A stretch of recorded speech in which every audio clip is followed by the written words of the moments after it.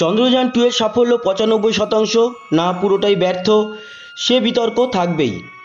চলছে ল্যান্ডার বিক্রমের সঙ্গে যোগাযোগ প্রতিস্থাপনের সম্পূর্ণ চরম লেভেলে যতটুকু করা যেতে পারে সব রকম চেষ্টা। তা বলে এই নিয়ে বেশি দিন বসে থাকলে হতাশা আসতে বাধ্য। বিক্রমের খোঁজ চালানোর পাশাপাশি এবার তাই চন্দ্রযানের তৃতীয় অভিযানের প্রস্তুতি শুরু করল ইসরো, অর্থাৎ Chandrayaan three. Chairman K Sivan ইতিমধ্যেই ঘোষণা করে দিয়েছেন চন্দ্রযান থ্রি মিশনের জন্য আলাদা টিম কাজ শুরু করে দিয়েছে। তবে এর পরের অভিযানটি হবে জাপানের সহযোগিতায়। নিয়ম মতো সব এগোলে আরও এক ল্যান্ডারকে নিয়ে দু হাজার চব্বিশ সালে চাঁদের দক্ষিণ মেরুতেই ফিরে যাবে ইসরো। শুধু চন্দ্রযান থ্রি নয়, প্রস্তুতি শুরু হয়েছে সৌর mission, Aditya, L one, Shukrayaan one, Gaganyaan, Mangalyaan two ও চাঁদে মহাকাশ গবেষণা কেন্দ্র বানানো নিয়েও। জাপানের এয়ার স্পেস এক্সপ্লোরেশন এজেন্সি বা জাকসা তার সঙ্গে যৌথভাবে চন্দ্রযান থ্রি অভিযান করবে ভারত। সে সময় চাঁদের মাটি খুঁড়ে পৃথিবীতে এনে গবেষণা করার কথা রয়েছে। জাকসার উপগ্রহ বিশ্লেষক যান হায়াবুসা টু গত জুলাই মাসেই দ্বিতীয়বারের জন্য ঝুঁকিবহুল একটি উপগ্রহে গিয়ে নেমেছে। কোনো বিপদসংকুল জায়গায় ঝুঁকি নিয়ে নামতে তারা কতটা সফল তা তারা প্রমাণ করে দিয়েছে। দু হাজার চব্বিশের যৌথ মিশন অনুযায়ী এখনও পর্যন্ত ঠিক রয়েছে রকেট আর রোভার তৈরি ও তাকে প্রেরণের দায়িত্ব থাকবে জাপানের উপর। আর ল্যান্ডার পাঠাবে ভারত। রোভারটি চাঁদে ড্রিল করে মাটি পাথর তুলে পৃথিবীতে ফিরে আসবে। বিশ্বে এই প্রথম দুই দেশ যৌথভাবে চাঁদে মানবহীন যান পাঠিয়ে সেখানকার মাটি নিয়ে ফিরে আসার পরিকল্পনা করেছে। তবে ওই বছরই ইংল্যান্ডেরও এমন পরিকল্পনা রয়েছে বলে জানা গেছে।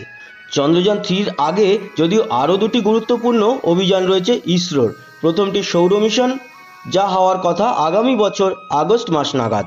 এই পর্বে সূর্যের করোনা স্তর টেস্ট করবে আদিত্য এল ওয়ান যান যেটি নিয়ে ভিডিও অলরেডি আমাদের চ্যানেলে রয়েছে।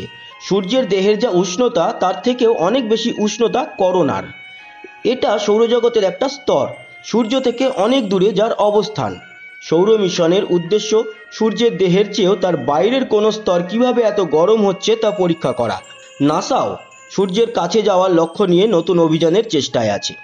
অন্যদিকে শুক্রযান ওয়ান অভিযান হবে দু হাজার তেইশে। শুক্রের কক্ষপথে একটি অরবিটার পাঠানোর কথা আছে ইসরোর, যাকে গ্রহটির মাটি থেকে চারশো কিলোমিটার উপরে স্থাপন করা হবে। তার আগেই হয়ে যেতে পারে মঙ্গলয়ান টু অভিযান। সেখানে পাঠানো অরবিটার মঙ্গলের গতিবিধি দেখবে, জলও খুঁজবে। তবে ইসরোর অভিযানের আকর্ষণের কেন্দ্রে রয়েছে গগনযান অভিযান। দু হাজার একুশ সালে তা হওয়ার কথা। বিক্রমের চাঁদের মাটি ছোঁয়ার আগেই সেই নিয়ে প্রস্তুতির কথা জানিয়েছে ইসরো। লেভেল ওয়ানের বাছাই পর্ব হয়ে গিয়েছে। ভারতীয় বায়ুসেনার পঁচিশ জন পাইলটকে পরীক্ষা করা হয়ে গিয়েছে। একমাত্র বায়ুসেনার পাইলটই উচ্চ বায়ুস্তরে কখনো বেশি বা কখনো কম চাপে অত্যন্ত গতিবেগে বিমান ওড়াতে পারেন। সে কথা মাথায় রেখেই বায়ুসেনা থেকে গগনযানের চালক বাছাই করা হচ্ছে। চূড়ান্ত পর্বে তিনজনকে বেছে নেওয়া হবে।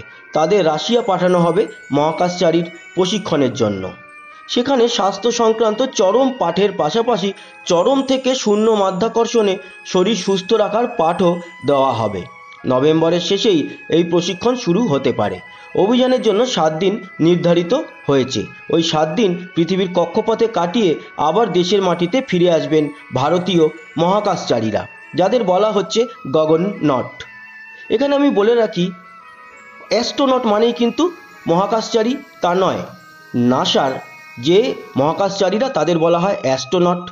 সেরকমই রাশিয়ার। যারা মহাকাশচারী, তাদের নাম কসমোনট এবং ভারতীয় মহাকাশচারীদের নাম হবে গগননট। দু সালে একটি মহাকাশ গবেষণা কেন্দ্র বানানোর পরিকল্পনা রয়েছে ভারতের, আর তা রয়েছে সেই চাঁদেই। এই অভিযান প্রাক্তন রাষ্ট্রপতি তথা মহাকাশ বিজ্ঞানী এপিজে আব্দুল কালামের স্বপ্ন। তার যুক্তি ছিল, চাঁদে ল্যাবরেটরি মহাকাশ গবেষণা কেন্দ্র বানাতে খরচ কম পড়বে। মহাকাশ বিজ্ঞানীরাও সেখানে গিয়ে থেকে গবেষণা চালাতে পারবেন। বর্তমানে মহাকাশে আমেরিকা, রাশিয়ার স্পেস স্টেশন থাকলেও চাঁদে কিন্তু কারও নেই। তবে মহাকাশে আর চাঁদে স্পেস স্টেশন বানানোর মধ্যে তফাত আছে। মহাকাশে তা বানানোর অর্থ পৃথিবীর দূরের কক্ষপথে তাকে স্থাপন করা। যার দূরত্ব হবে ষাট বা সত্তর হাজার কিলোমিটারের মধ্যে। কিন্তু চাঁদে বানানোর অর্থ তাকে চার লক্ষ কিলোমিটারে স্থাপন করা। এই দূরত্বে কাজ হবে কি করে? বিজ্ঞানীরা জানাচ্ছেন, কাজ তো করবে অ্যান্টেনা। কয়েক লক্ষ মাইলের দূরত্বের বস্তুও খুঁজে বের করার অ্যান্টেনা ভারতেই আছে। আর সবচেয়ে জরুরি বিষয় হলো কক্ষপথে স্পেস স্টেশন বানালে তার রক্ষণাবেক্ষণের জ্বালানি খরচের জন্য একটি নির্দিষ্ট খরচ প্রতি বছর হবে। তার চেয়ে একেবারে চাঁদে এবং মহাকাশ গবেষণা কেন্দ্র বানিয়ে ফেলতে পারলে বরাবরের মতো খরচ থেকে রেহাই। ল্যাবরেটরিতে বসেই কাজ চলবে চলবে রক্ষণাবেক্ষণও।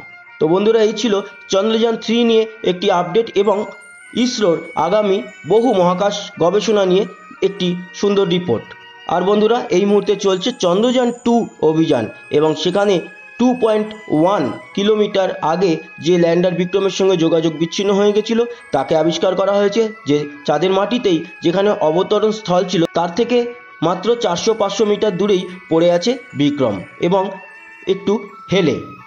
তার সঙ্গে যোগাযোগের স্থাপন করার চেষ্টা চলছে সব রকমভাবে আশা করব তার সঙ্গে যোগাযোগ স্থাপন সম্ভব হবে এবং আমরা দ্রুত সেই খবর নিয়ে চলে আসব আপনাদের সামনে। এই মুহূর্তে ছিল চন্দ্রযান থ্রি নিয়ে একটি আপডেট। সঙ্গে থাকবেন সাবস্ক্রাইব করে আর ঘণ্টা বেলটা দাবিয়ে দেবেন। লাইক, শেয়ার অবশ্যই করবেন আর কমেন্ট বক্সে জানাবেন আপনাদের গুরুত্বপূর্ণ মতামত। ভালো থাকবেন, আবার দেখা হবে পরবর্তী ভিডিও নিয়ে। ধন্যবাদ।